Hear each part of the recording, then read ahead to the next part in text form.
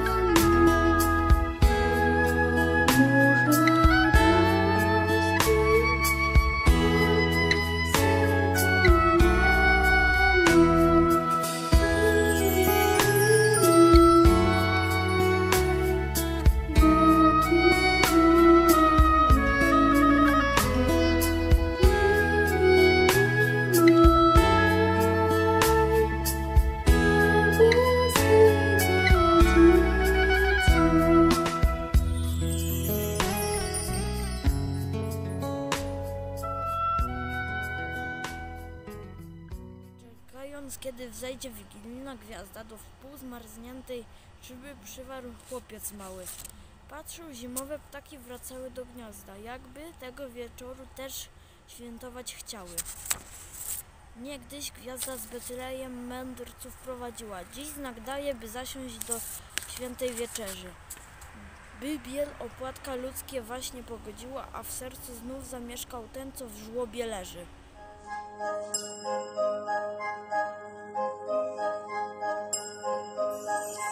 shine.